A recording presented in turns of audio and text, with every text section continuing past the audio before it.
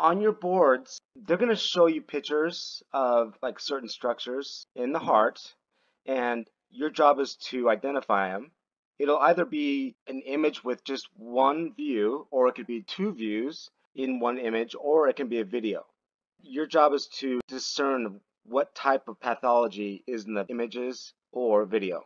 We're going to talk about the difference between benign and malignant tumors. Benign tumors will have a more hyperechoic, homogeneous look to the mass, whereas malignant tumors, although are hyperechoic, have a more heterogeneous look to the mass. The most common malignant tumor in adults is a sarcoma, and the most common malignant tumor in children is a rhabdomyosarcoma. And then the most common sarcoma is an angiosarcoma. And a leiomyosarcoma is considered to be an IVC tumor. These can grow along the IVC. A renal cell carcinoma is also called an IVC tumor. A Wilms tumor, which is also called a nephroblastoma, is the most common IVC tumor. It's also worth noting that malignancy usually metastasizes from either the lungs or the breasts. Oh, I have it written twice here, here and here. And how you differentiate a benign from a malignant tumor is a lot of times a malignant tumor will have an associated pericardial effusion. That's the most common complication from a malignant tumor. When you have a fast buildup of pericardial effusion, you have the risk of developing tamponade, as well as these cardiac arrhythmias. Another concern with any type of tumor found in the heart is the chance of embolization.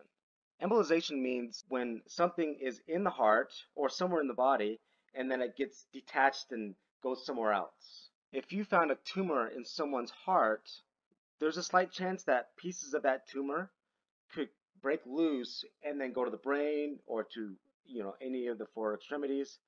If a tumor gets big enough, it can cause obstructions. Some tumors can get so big that they can overtake a chamber. I just want to emphasize that it's very important that you memorize this stuff. Like the other name for a Wilms tumor is a nephroblastoma. I mm-hmm. want you to think every time you hear nephroblastoma, think Wilms mm-hmm. tumor. Because there's another tumor out there that's pretty close in wording and sound. It's called a neuroblastoma. A neuroblastoma is something completely different than a nephroblastoma. Angiosarcoma. This is the most common type of sarcoma. And they're typically found in the right atrium slash the right AV groove. You can see that this tumor is completely taken over the right atrium. You can see it here in the short axis view at the aortic valve level. You can also see it in the subcostal view. Here's another example. If you look at the texture of it, it's got like this heterogenic type look to it. So these tumors are usually large near the inferior vena cava, but not in the inferior vena cava. This angiosarcoma has infiltrated the posterior wall. Usually they're found on the right side, but it's not totally uncommon for them to be on the left side. This is a typical sarcoma. Look how big this tumor is. This is the problem with any type of tumor is the possibility of obstructing a chamber or whatever. This sarcoma is completely filled in and obstructed the right ventricle. Sarcoma tumors are the most common malignant tumors in adults. The next one is a rhabdomyosarcoma. And look, what do you see in this image here? What's something that jumps out at you? When you're taking your boards and you see a mass, look at the entire image. If you see a pericardial effusion, chances are it's probably going to be malignant. Like I said, rhabdomyosarcomas are the most common malignant tumor in children. They can grow in any chamber. They have no limits. They can grow anywhere. Patients who have this type of tumor uh, don't have a good prognosis, meaning chances of living are very poor. They have a high mortality. Here's another example. So it's completely taken up the right side. Leiomyosarcoma. They can originate from the vascular system and grow along the IVC. If you're asked on your test which tumor is typically found growing along the IVC, look for this, the leiomyosarcoma.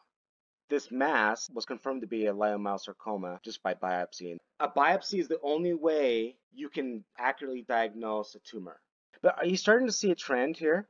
Up to this point, where have all the malignant tumors been located in the heart? It's probably safe to say that a lot of malignant tumors are found on the right side. Lymphomas typically are on the right side. Looks like this one is right in between the right atrium and right ventricle. What else do you see in this image besides the tumor? Pericardial fusion. Okay, renal cell carcinoma. Renal cell carcinoma tumors are IVC tumors. You'll see it coming in through the IVC and then in to the right atrium. This is the same patient here. And this tumor was invading the right atrium from the IVC you can see that this tumor is coming in from the IVC into the right atrium and invading or taking over the right ventricle. What's the most mm -hmm. common IVC tumor? The most common IVC tumor is a Wilms tumor or a nephroblastoma. Benign tumors are a lot more common than malignant tumors. The most common benign tumor is the myxoma. The myxoma mm -hmm. tumor accounts for probably about 75% of all the primary benign tumors. Myxoma tumors are more often found in the left atrium and rarely found in the ventricles. They can be found there, but most of the time they're found in the left atrium and they can be found in the right atrium. What you want to look for is a connection of the tumor to the fossa ovalis. On your boards, you'll have still pictures with like an arrow pointing to some weird structure in the atria, mm-hmm. probably the left atrium, you're going to want to look for a a globular smooth surface. It's usually round or oval and it's going to connect to the left atrial septum or the fossa ovalis. And what happens is if they get large enough, they can impede diastolic filling and cause mitral valve stenosis. Here's a good example of a myxoma. Here's systole and here's diastole, right? And you can mm-hmm. see that in diastole, this tumor is protruding or invading the left ventricle. Mm-hmm. Now, if you just have a still image like this, and it says what structure is in the left atrium. You can see here that this tumor is attached to the fossa ovalis. It's pretty easy to identify. You can see how globular and homogeneous it is, as well as really smooth. It's got like that smooth texture. This is the benign tumor. Can you see why this will impede diastolic filling? Because if you look at it in diastole here, you can imagine that blood flow is not flowing into the left ventricle very passively. Essentially, this causes stenosis. This tumor is taking up the majority of the left atrium. When the mitral valve opens during diastole, this hmm. tumor is going to invade the left ventricle temporarily. And look at the space around here. Just in this image here, there's not very much space for blood to kind of flow around, making it hard for blood flow to flow passively into the left ventricle. This is going to cause stenosis. Don't confuse a myxoma with a thrombus. Before you get trigger happy and decide to choose a thrombus, make sure that you look at what the question is asking and look at the ventricle, look at your picture. Because a thrombus really won't grow in an area where blood is moving quickly. If it's in the left atrium, there's two things that will cause a thrombus. Okay, here's a really good example of a thrombus in the left atrium. Look at this mitral valve. Does that look normal? No. No. In fact, this is rheumatic. Rheumatic disease of the mitral valve can cause mitral stenosis. If it gets severe enough, then blood flow isn't going to move very quickly through this left atrium, causing a thrombus. How are you're going to distinguish a thrombus from a myxoma is rheumatic disease. Think thrombus if the image looks like there's rheumatic disease of the mitral valve. I also want you to think left atrial thrombus if the patient is in atrial fibrillation. If they show an image and you are unclear if it's a thrombus or a myxoma and there's no rheumatic mitral stenosis, then look at the EKG. Hopefully the EKG will show that irregularly irregular rhythm. If that's the case, then it's going to be a left atrial thrombus. But a thrombus won't get this big in someone with atrial fibrillation. This is the apical two chamber, right? Yes. If they showed an image like this, okay, and there's like an arrow pointing to this area, which is the left atrial appendage, and you see like a structure there that's filled Mhm. in, think thrombus before you think anything else. If they ever point a, an arrow to the left atrial appendage, always think thrombus. Like in this image here, if they showed this image with arrows pointing to this random structure, you're also going to think thrombus. Because even though this is the left atrium, is this the Mhm. interatrial septum right there? The answer would be no. This is the mid-esophageal three-chamber view. Don't let this trick you. It looks like that Um, this could be the interatrial septum, but it's not. It's just Mhm. a part of the left atrial wall. Before you decide that it's a myxoma, make sure that whatever it's attached to is actually the fossa ovalis. If it is, then think myxoma. If it's not, think thrombus. Mhm. Cool on that? This is definitely a thrombus because this patient has rheumatic disease, rheumatic mitral stenosis. Mhm. And then this is definitely a thrombus because it's in the left atrial appendage. Period, the end. Myxomas are tricky because if you found a tumor in a heart, what would be the first thing that you would think of to treat if it's a benign tumor? You would want to surgically remove it, right? If you saw this in your left atrium, you would definitely want to remove it, Mm. right? And usually they would. But the problem is, if you remove a myxoma, the chances of it growing back are really good. And if it does grow back, then it's going to grow back more rapidly. That's the problem with these. Mhm. You're not going to remove this and then treat this patient with radiation therapy or chemotherapy. If this was malignant, you would re- remove it and then treat them with radiation or chemotherapy to destroy the cells that are still lingering around. It's impossible to get rid of every single myxoma cell because you can't even see a cell. There could be just one cell left over and it'll still grow back. Here's some good examples of a myxoma. You see that this is the four chamber view. It's kind of like the RV focused view. And you have the arrow pointing to the structure there. How easy would it be to think that that's a thrombus? Pretty easy, right? It's yeah. not in the left atrium, it's in the right atrium. So why not Mhm. think that it could be a thrombus? Well, these are the ways that you can tell if there's a thrombus in the right atrium. And the first is a pacemaker wire. If you see a pacemaker wire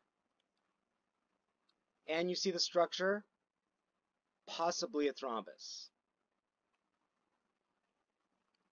If you see a catheter coming into the right atrium via the SVC or the IVC, and you see the structure, maybe a thrombus. If there's a pacemaker wire, or if there's a catheter, and you see a structure like that, I would think a thrombus first before myxoma, especially because it's in the right atrium. But if it's just this image and there's no catheter or pacemaker wire, and you see this, it's probably myxoma because look where it's connected to the interatrial septum. Okay, now here's what an M mode would look like. If they showed you a typical M mode in the presence of a myxoma, you're going to have the same look or similar look to mitral stenosis, where you have the flattening of the EF slope. You can see in this M mode, this would be the E wave, and the F wave would be kind of like down here. Then you have the A wave and the C wave. Here's the D wave. Maybe it's closer over here. But DFAC is what I think. And if you have a flattening of your EF slope, there's some sort of mitral stenosis going on. But this image shows a myxoma. This kind of shows you why a myxoma would cause mitral stenosis. Here's the myxoma in this M mode. Here and here and here and here. We mentioned myxomas are the most common benign tumors in adults, about 75%. Another thing you might have to know is that rhabdomyomas are the most common benign tumors in children and infants. These tumors will typically or sometimes regress as the patient ages. A fibroma is the second most common in children. Third most common is a papillary fibroelastoma. They're more commonly found on the mitral valve, but you can see them on the aortic valve and other valves, but most of the time they're on the mitral valve. But on your boards, they probably won't have this word here. They probably won't have papillary fibroelastoma. I bet they'll just have fibroelastoma to throw you off. If you just see fibroelastoma, make sure you still think papillary fibroelastoma. I would almost bet they won't have the word papillary along with fibroelastoma. They'll just have fibroelastoma. And here's an example of a papillary fibroelastoma. Now, these types of tumors can mimic a thrombus, a vegetation, but if you see this, let's say they showed an image just like this that's not labeled with the papillary fibrosarcoma there and an arrow pointing to it. They said, what is the structure? Here's how you're going to know that it's not a vegetation. A vegetation would Mhm. most likely be on this side if the valve was closed. You see the aortic valve is closed. Fibroelastomas are more closely related to Lambl's excrescence, which is a non-bacterial endocarditis. A complication with these is they could embolize and go to the brain or, you know, embolize to an extremity. A fibroelastoma is more commonly found on valves, more commonly on the mitral valve, and is the third most common adult benign tumor. It's usually found downstream of the aortic valve. They're usually small, pedunculated, and round in appearance. The next type of benign tumor, lipomatous hypertrophy. These types of tumors are usually found in the interatrial septum.